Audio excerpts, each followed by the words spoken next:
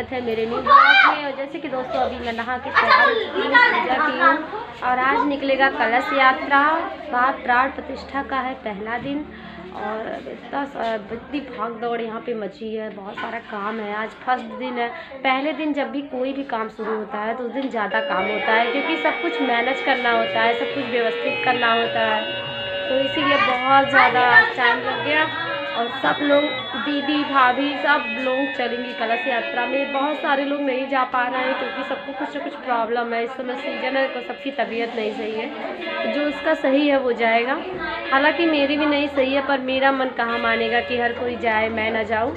और ये देखो, आज सुबह ये बैलून फुला रही है।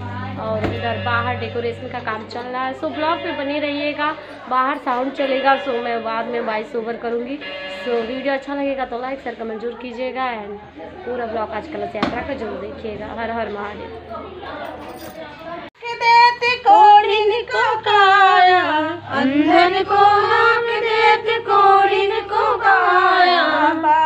को पुत्र देते निर्धन को माया, बाझन को देते निर्धन को माया। गजनाम नमवा तुहार हो गौरी के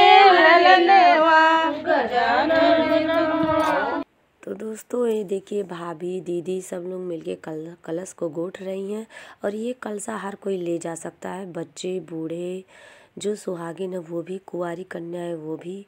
मतलब हर कोई ले जा सकता है। इसमें कोई रूल्स नहीं है कि कौन लेके जाएगा। बट कलश उठाने के बहुत सारे नियम हैं जिसका पालन करना होगा। वो मैं लास्ट में बताऊँगी। और ये धतूरे का फूल, ये सब और कम से कम दस दस मालाएँ पर डे आएँगी। पाँच दिन के पूजा में हर रोज़ सुबह दस मालाएँ आएँगी सभी देवी देवता को चढ़ाने के लिए। ये पाँच तरह के चावल को रंगवा रहे हैं पंडित जी, जिससे बनाएँगे सुंदर चार बेदी, नवग्रह और भी चार कोनों पर पंडाल के अंदर बेदियाँ बनेंगी। सो ये पाँच कलर के चावल रंगे जा रहे हैं, जिसे अपने घर के लोग ही रंग सकते हैं। तो ये सुंदर हाथों से सब कोई रंग रहा है, पंडित जी बता रहे हैं। सारी व्यवस्था हो गया, पंडाल सज गया, सारी पूजा की सामग्री इकट्ठा हो रही है और अभी कलश यात्रा निकलने वाली है, सो जोरों शोरों से।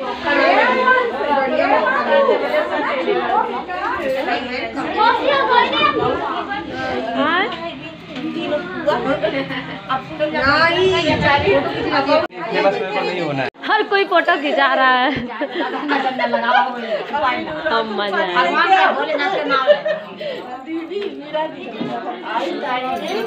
तो से यात्रा की तैयारी हो रही है और कोई हँसी मज़ाक कर रहा है। सुबह ही हमारी गर्ल्स है का सो फ्रेंड अब कलश यात्रा निकल रहा है। सब लोग अपने अपने कल से ये देखिए। ये देखिए सब लोग अपना अपना कलसा लेके जा रहे हैं और वहाँ पे भी सब लोग लेकर आ रहे हैं। और यहाँ पूजा का स्थल बना है यहाँ भी मटका लग रहा है। तो सभी दीदी भाभी अब सब लोग जाएँगे और कलश यात्रा निकलने वाली है। सब लोग बने ये है यहाँ का लोकेशन सारा। बहुत गगरी है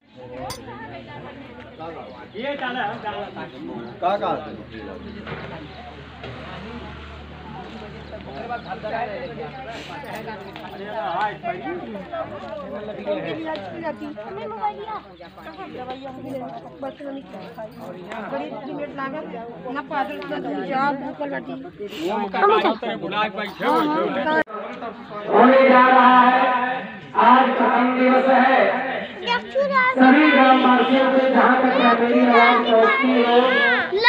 हेलो लो लाल पीला वाह टिंकल का बहुत सुंदर है। बदमाशी करती हूँ। एक बजे से एक बजे से कलश यात्रा का सुबह होगा जिन सज्जनों को कलश उठाना हो और सभी लोग कलश उठाने के लिए आए। कलश उठाने का मतलब होता है कि आपके जीवन में कहीं से किसी भी प्रकार से कोई भी संकट हो, कोई बाधा हो, कोई विघ्न हो है कलश उठाते समय क्या कहना चाहिए? एक हो, हमारे जीवन में जितनी भी संकट है, जितनी भी बाधा है, सब दूर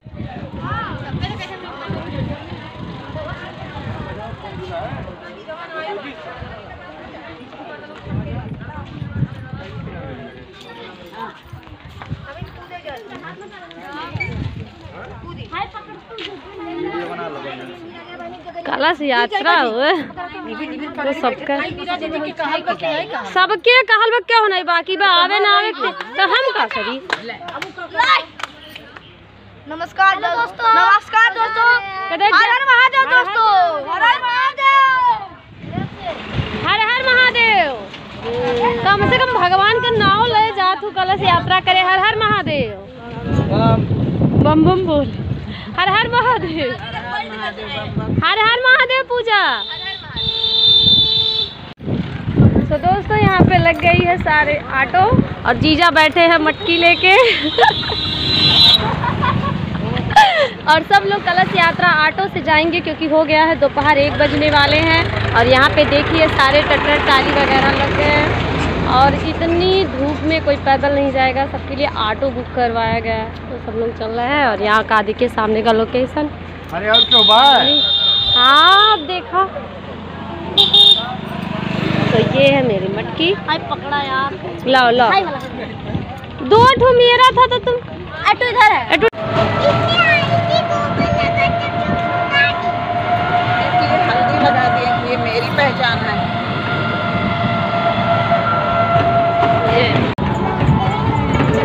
तो फ्रेंड हम जा रहे हैं जल भरने और हमारे यहाँ नौगढ़ में जोग माया का स्थान है। पहले हम वहाँ जाएँगे, वहाँ दर्शन करेंगे।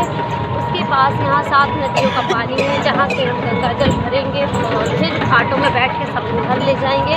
काफ़ी दूर का सफ़र यात्रा है, इसीलिए हर कोई ऑटो से जा रहा है।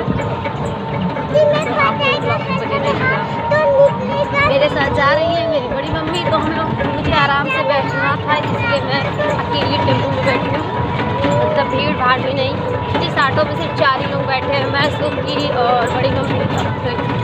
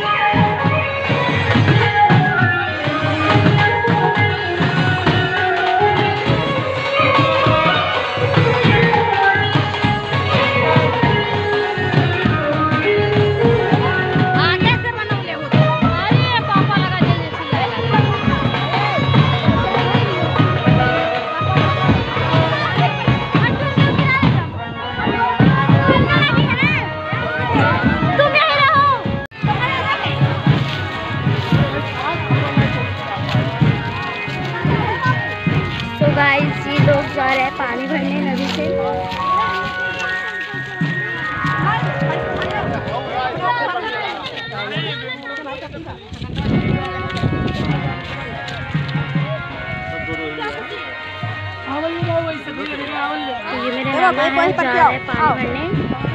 बच्चे में। देख के देख सकते हैं आप लोग गाइस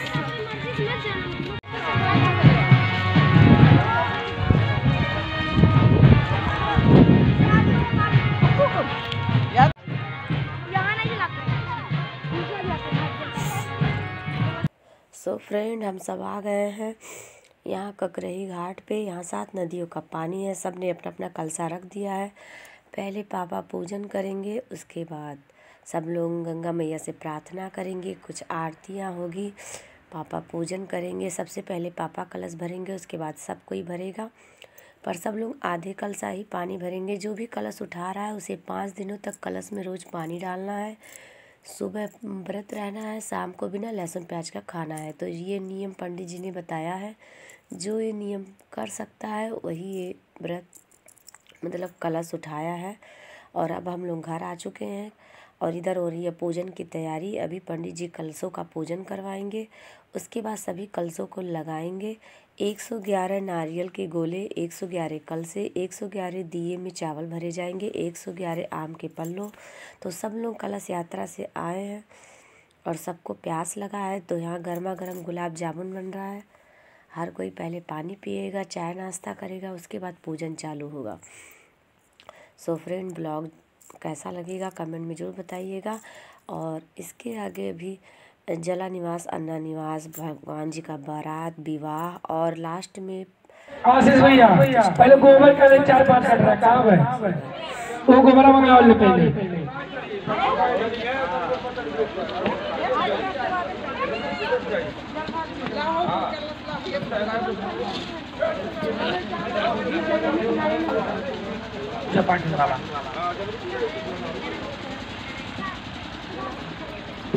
सब जगह एक दूसरे में कलश जल डाल दीजिए।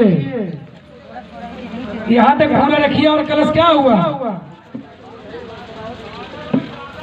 ये बच्चे यही अल्टे पलटा तो, तो बच्चे वीडियो तो ये देखिए, इस तरह से नीचे पहले गोबर रखना है, सभी कलसे के नीचे, उसके बाद कलसे रखने हैं, उसके बाद आम के पल्लो डालने हैं, दिया भर के चावल रखना है, उसमें नारियल एक रखना है, उसको लाल कपड़े में बांधना है, उसके बाद उस पर फूल चढ़ाना है। सब चीज़ें एक सौ ग्यारह ही होंगे, आम के पल्लो, दिए, चावल, नारियल भी तो सब सब कुछ इसी तरह से लगाना है और ये पूरे पाँच दिनों तक रहेगा। लास्ट वाले दिन इसका क्या होगा वो आप लास्ट वीडियो में देखिएगा। और अब होने जा रहा है पूजन, आरती। और ब्लॉग कैसा लगा आप लोग कमेंट में ज़रूर बताइएगा। हर हर महादेव कमेंट में ज़रूर लिखिएगा। सभी कलशों में फूल भी डालने हैं जो कि पंडित जी डलवा रहे हैं। पूजन आरंभ होने वाला है। वॉइस ओवर में कर रही हूँ अलग से क्योंकि इतना साउंड और आवाज़ में मेरी आवाज़ नहीं आएगी। और हमारा मंदिर भी सच चुका है, पंडाल भी सच चुका है। लास्ट वाले दिन और भी अधिक डेकोरेशन होगा, वो आप ज़रूर देखिएगा।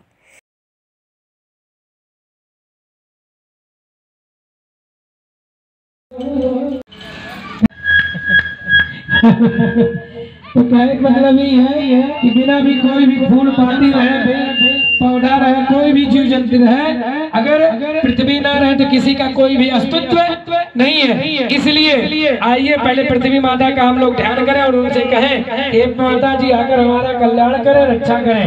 पृथ्वी पंचधारे नाम।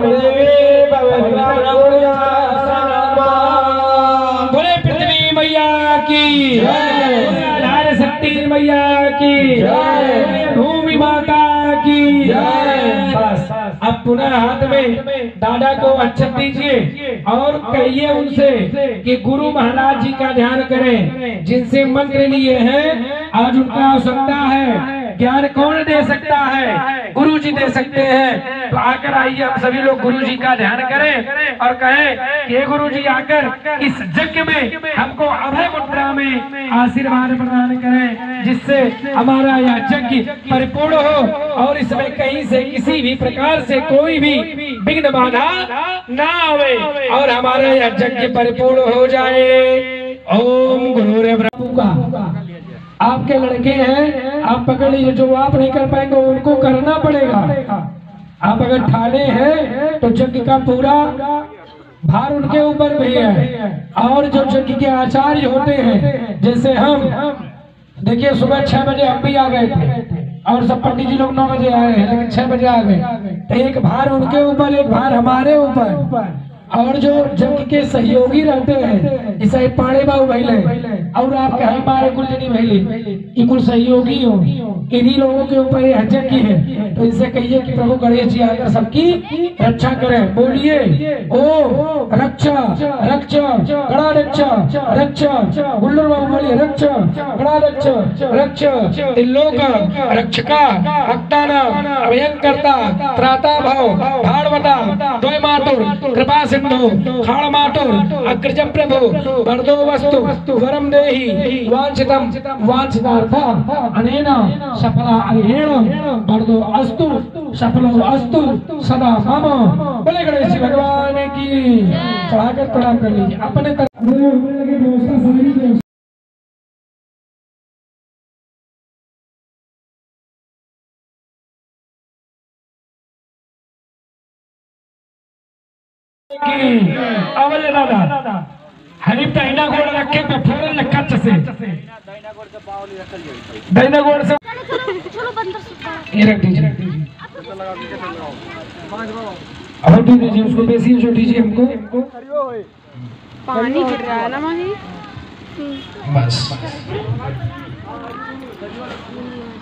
बस भैया। भैया। अभी मैं ओके दादा ले लिया। उनके सकल परिवार की बोले उनके आए हुए सभी रिश्तेदारों की बोले इसमें सभी हुए आए हुए भक्तों की जो ना आए हैं उन भक्तों की सभी सहयोगियों की जो ना दिए हो उन सहयोगियों की सभी भक्तों की जनता जनार्दन की डुमरिया ग्राम वासियों की टटिलिया ग्राम वासियों की क्षेत्र वासियों की। चलिए अब हाथ में संकल्प करिए लेकर। सभी लोग, ब्राह्मण जी लोग आपको आशीर्वाद दें हमारे यजमान को। कहें कि इनका सकल परिवार कल्याण, इनके क्षेत्र का कल्याण हो, इनके नगर बस्ती का कल्याण उनके ग्राम का कल्याण हो। नमो ब्राह्मण दादा, तुलसीदास जी लिख ले हैं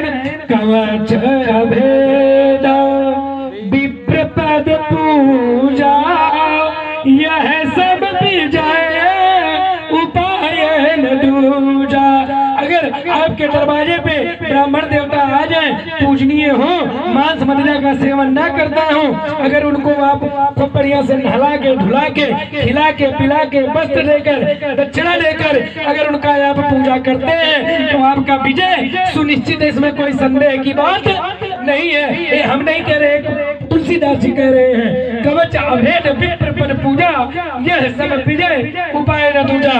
रह गई दार की बात तो तुलसीदास भी लिखे हैं। प्रकट शुरू से सुनिए। सभी लोगों को एक एक थाली एक एक लोटा एक एक थाली एक एक लोटा। उसके बाद उसमें फूल, बेल का पत्र, दूरबा, अक्षत। उसके बाद फिर उसमें अगरबत्ती, कपूर, माचिस। उसके बाद लौंग, इलायची, पान का पत्ता, फल, मीठा। मीठा में आप भेली भी ले सकते हैं या मीठा भी ले सकते हैं, आपकी व्यवस्था या चीनी जैसी भी हो। फल में, फल की रोज केला नहीं मंगा पा रहे, किस छुआरा बादाम जय गणेश जय गणेश जय गणेश देवा। माता जगी पार्वती पिता महादेवा को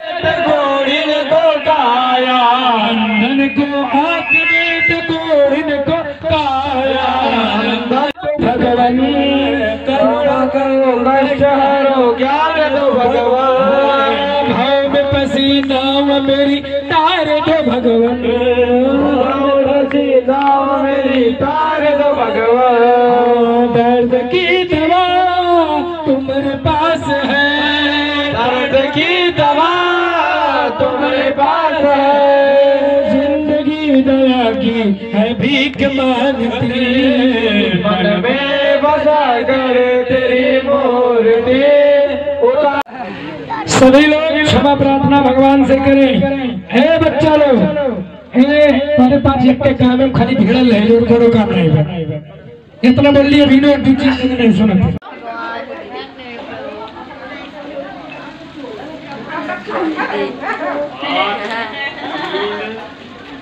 मैं अकेले खा तो अच्छा ही तो दोस्तों अभी सारा पूजा खत्म हो गया है भाभी लोग बना रही है खाना मेरा है हालत खराब। पूरा दिन किसी ने कुछ नहीं खाया कलश यात्रा की वजह से जितने भी लोग थे हर कोई व्रत था आज। पूरा दिन श्रद्धा भक्ति में बीत गया। छोटे से छोटे बच्चे भी खाना नहीं खाए इतनी महादेव में शक्ति है। तो दीदी हाँ? चाचा काम पे लेके जाते हैं ना? बड़ी भाभी खाना बना रही है ये देखो ये मेरी सबसे बड़ी भाभी है और खाना बना रही है। देखो क्या बना रही है भाभी? दाल फ्राई? दाल फ्राई। और भाभी मेरी दाल फ्राई बना रही है ये दाल हो रहा है। तो मेरी सबसे बड़ी वाली भाभी है। ये मेरी सबसे बड़ी वाली भाभी है। गुजरात रहती थी बट गाँव में ही रहती है क्योंकि बहू भी आ गई है। तो आज यही खाना बना रही है। सब लोग खाना बना रहे हैं। यहाँ पे बड़ी भाभी बना रही है और वहाँ पे छोटी भाभी। पिज्जा नहीं तो मेरी छोटी भाभी खाना बना रही है। ये मेरी सबसे छोटी वाली भाभी है। देखो, खाना बना रही है। छोटी वाली नहीं, मझली वाली भाभी है। ये मेरी दीदी है। और जी बना रही है। बहुत बढ़िया। यहाँ बच्चे कर रहे हैं, मस्ती। और सभी बच्चे खेल रहे हैं अंताक्षरी और सारा प्रोग्राम खत्म हो रहा है। खाना भी बनने का वेट है। हमारे यहाँ देखिए कौन कौन है? सबसे मिलाते हैं ये है पूजा इनका माही देखो मेरा भतीजा अनिल वर्षा और ये है ठीक है तो सभी बच्चों से मैंने मिला दिया और सभी बच्चे लाइक से कमेंट करने की गुहार लगा रहे हैं आज का ब्लॉग इन यही कर मिलते हैं अगले वीडियो ब्लॉग के साथ तक के लिए